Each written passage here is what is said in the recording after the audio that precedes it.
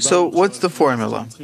We said that we have to find a formula together in our connection, that eventually we have to realize that we have to act correspondingly.